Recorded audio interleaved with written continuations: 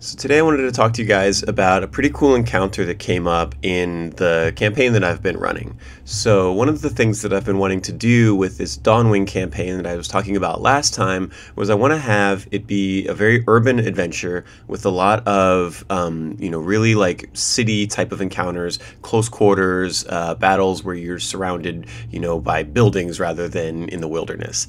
And it's kind of a, it's a cool thing because you know, we always want to try to put adventures in cities, but sometimes it can be kind of challenging to think of, all right, you've got a billion NPCs, you've got a billion buildings and structures. It's not just like there's a forest and there's a bunch of trees and like, don't worry about it. So um, I just want to kind of give you guys some tips if you're working on, you know, uh, building big city adventures. It's not really as scary as it, it might seem uh, off the bat. Uh, you can kind of build your adventures like dungeons. You can build the map kind of dungeony, but it's alleyways and streets and things. And um, it's not quite so bad when you're when you're to manage once you kind of get into it. Uh, but I wanted to talk to you about a really cool adventure, a really cool encounter that uh, that came up um, on our first day. So the way I started the Dawnwing adventure was I just said, um, "Here's the background of the area. You guys are all mercenaries. You all work for a company called the Iron Assembly, and you've been assigned to basically be bodyguards to this very wealthy um, uh, guy who is he's a transmutation wizard. So he's kind of a a very fancy jeweler, right? He makes all these fancy like pieces of jewelry, fancy like clothing and things that change color with the seasons depending on your, you know, what what you need it to be. So a uh, very, you know, fancy magic item thing, but not a type of magic item that the characters are going to care about that much. Not weapons or armor or anything like that. Uh, mostly jewelry, mostly very high end jewelry.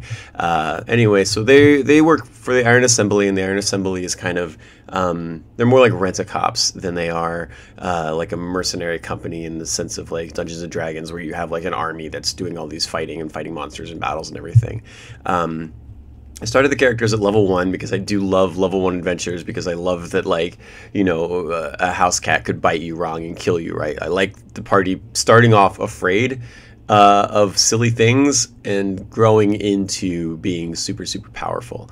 It also helps the party composition because they all start to kind of grow together, right? If you all start at level one and you realize at level one that nobody's picked a guy who can talk to to strangers, then that's a lot better than everybody just rolls up fifth level characters and you realize you don't have a you don't have a, a, a, face, you don't have a charisma guy.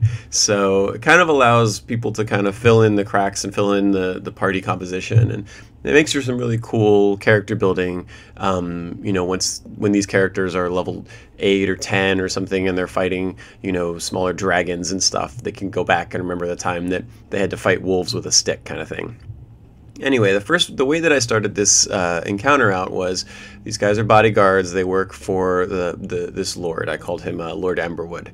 Uh, he's this very rich elf guy, and they have to um, to work for him. And one of the things with this guy is he's kind of like a Wolf of Wall Street kind of guy, right? He's got a lot of shady stuff going on. He's got a you know a bunch of fancy people that he works with, but he also has some pretty shady guys that come by the uh, come by the manor, right? And so these guys run security on the manor. But what ends up happening is uh, he's got to go make a deal in one of the the more like shadier parts of town. He has to go to the town bazaar and he has to make a deal with some pretty gnarly guys down there. So you your party is assigned to bodyguard him. Um, you're carrying a large crate. You don't know what's in it. You know it's heavy. It's a big box that has a uh, you know one person in the front and one person in the back to carry it. It is heavy enough that I mean it's not too heavy that like one person could lift it and move it and walk with it at half speed, but you know, this is kind of you're going to be moving through the city, so it's going to be a couple hour journey each direction. I made the city huge, uh, but so you can't like one person's not going to want to carry it the whole time. But in a pinch, in an encounter, you could uh, you could pick it up and carry it and stuff. And so you had to have two guys carrying it, and then I had uh, the rest of the crew. There was three other guys, and then they kind of fanned out around uh, around the area and then I had one person from the Iron Assembly who was kind of their commanding officer, and she was a third level ranger, and um, uh, they kind of had to take orders from her. And so she walked next to the Lord, and then they kind of were responsible for filling out the rest of the security detail. And, uh, you know, they move through the city and it's going fine. And then when we get to the bazaar, I draw it out on the map. And one thing I like doing in Dungeons and Dragons is making party making the party roll unnecessary perception checks, right? So when they get to the edge of this bazaar, I draw out the map and it's, you know, basically the main street with a, bunch of side alleys coming out of it and then market stalls down it. And then i just basically took every mini that i owned and just spread them out all like just made the street look as crowded and insane as possible. The different alleys it was just a nightmare security nightmare trying to bodyguard this one dude through this crazy street that was just uh, just absolutely bonkers. And started making them roll perception checks. You know, I was I was letting them do perception checks to kind of see, you know, this guy doesn't, you know, this is this guy's maybe you can spot a weapon, maybe you can spot, uh, you know, something something that like looks out of place. And I was allowing them also to roll sense motive checks to kind of see if they could find a guy that was looking a little shifty. Maybe he had like some kind of bad bad intentions. Um, and and there's nothing, right? There's no there's no attack on him at this part of the bazaar. But I've drawn it on the map and I'm making the party roll perception checks, and the party is scared because they're level one. They're they're not sure what that they can handle any kind of serious combat encounter anyway. Uh, but I like making them scared, and I like making them roll some checks that they don't have to roll. So then they get to the warehouse where they're going to make this drop. They go down and they cut into one of these alleyways and they go into this warehouse. And our map's big enough that I could just draw it straight on there. Uh, and in the warehouse, they, they go down to the warehouse and there's two like guys outside with their hoods up. Uh, but you can see the snouts and they're rat folk and they're kind of one's bigger and one's smaller and they're standing outside. And the guard that uh, the their sergeant who came with them, when they get to the door, she kind of is like two out here with these guys, and then she goes in. So I split the party. I've got two guys out front with the two rat guys, and they're you know the rat guys aren't talkative, but they're not aggressive. And then when you go in, there's a drop that you have to make. So you have to bring come in, you have to drop off the box that you brought with you. There's the bad guy, you know, who's very similarly dressed, right? And these guys are very rich, very wealthy people. They're dressed in a cloak with a hood up, but the cloak is like gold lined, so they stick out like a sore thumb, especially in like a in a bazaar kind of setting.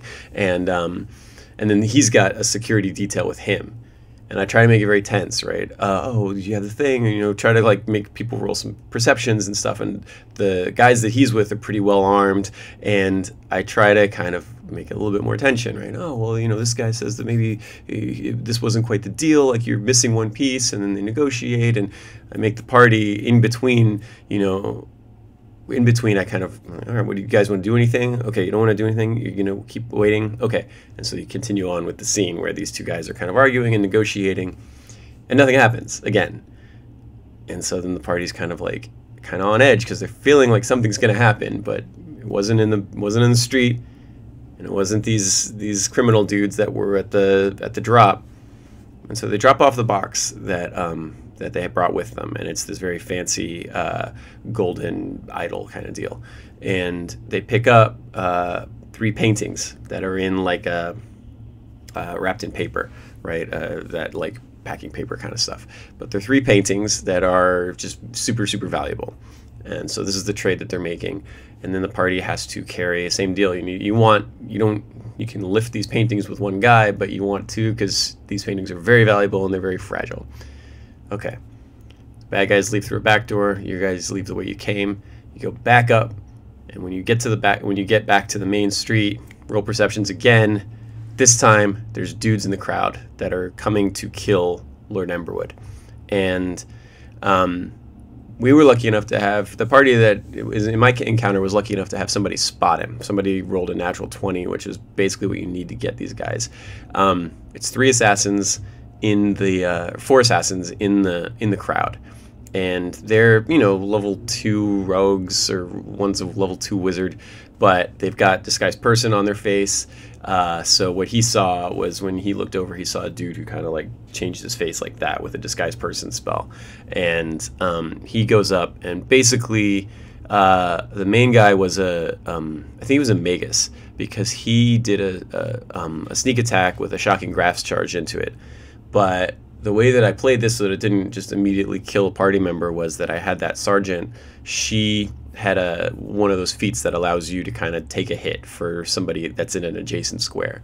So she got nailed for like a 35 point shocking grasp sneak attack. Uh, but she's yelling like knife and then gets in front of it, takes the hit, goes down, roll initiative. You know that this guy is one of them.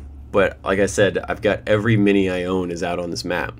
And uh, and now the party's in trouble because they don't know who's good guy, who's a bad guy. And the way I marked her was I just put like a dice next to her, and I was like, all right, she's a bad guy. Everybody else, it's too early to, to tell what's going on. Uh, you know, let's let, let go. So uh, the way I did, I ran it was uh, the guy that beat the perception check to spot the assassin.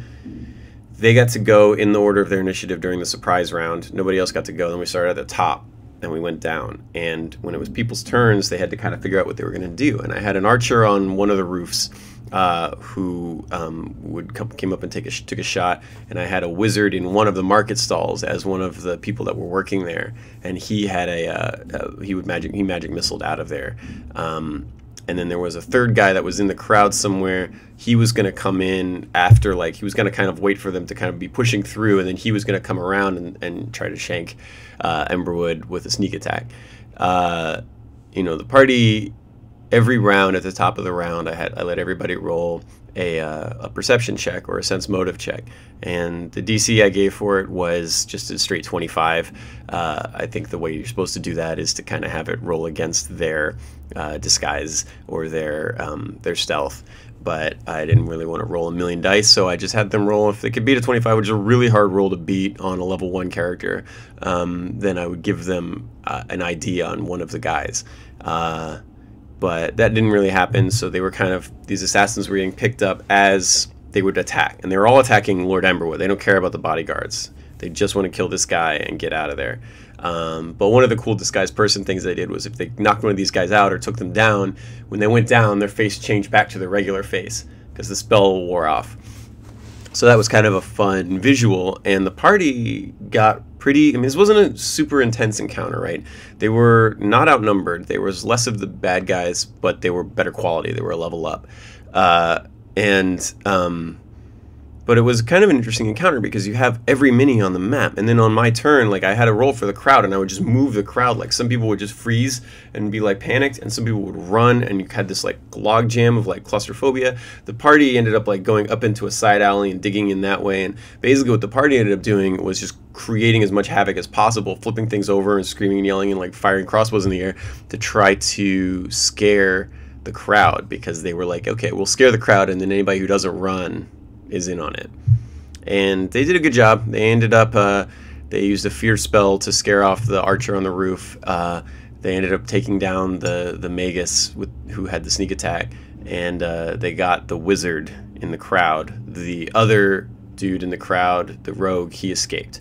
Um, and another cool thing you can do about an urban adventure is after all these guys are down, um, they, they were like, all right, well, cool, we'll, we'll search the bodies. It's like, all right, well, the cops are coming, right? The sound guard's coming, and they're kind of in, in range of the of of the battle now, right? They're showing up, and you know they're there to kind of stop the thing. And uh, I guess the model I used for this was that scene in Clear and Present Danger, where they they try to take out the convoy in the alleyway, right? So you've got the bad guys on the roofs, you got the bad guys on the ground, uh, and but then when the cops show up, the guy's are like, "All right, we'll search the bodies." I was like, "Okay, we find this pin. I wanted them to find this pin because it identifies the organization of the bad guys. It's a little pin the shape of a chimera, and it's on the inside of one of the cloaks, so that you could flash it to somebody, but it's not identifiable from the outside." So they found this chimera pin, and um, but these some of these these guys had like pretty good weapons, right? They had like you know uh, like the Assassin's Creed like wrist wrist thing, and they had like then that was masterwork, and they had some you know masterwork bow and stuff. But uh, but you can't loot these guys because you're in a city, right? You, if you murder a person in the street, you don't get their stuff. That's not the way the world works. So the guards are like, that's evidence. Like you, you that's staying. We allowed him to like kind of pocket the kind of pocket the pin because I wanted him to have that, and it's an easy enough thing that you could steal, but um, you don't get to take his sword because you killed him in the middle of the street in a, in a battle, right? And um, uh, Lord Emberwood kind of plays the "Do you know who I am?" kind of card, and is able to get uh, get the guys. Um, and because they're mercenaries in the city, they kind of have a permit. You know, there's a kind of an understanding that they're allowed to draw weapons to defend the person that they have a contract to defend. So, you know, it takes an hour for them to kind of talk through this stuff, but uh, eventually they get they get away and they go back to the manor. And Lord Emberwood's telling about his bravery because he took an arrow at some point, but then they fought off all of the assassins together, and um, kind of takes credit for a lot of the a lot of the assassins or a lot of the uh, bodyguards and what they did. Um, but he does give them a spot bonus of a month's salary, which is 10 gold each. So, anyway, I thought that was a cool encounter. It was a fun way to start. There's a lot of interesting things you can do with a huge map, uh, tiny map, every mini you own, and you don't know who's the good guys and who's the bad guys. Could be pretty fun. Maybe something you could try out in your adventures. Uh, I don't know. I hope this was helpful. Um, and uh, we'll see you next week with uh, another painting.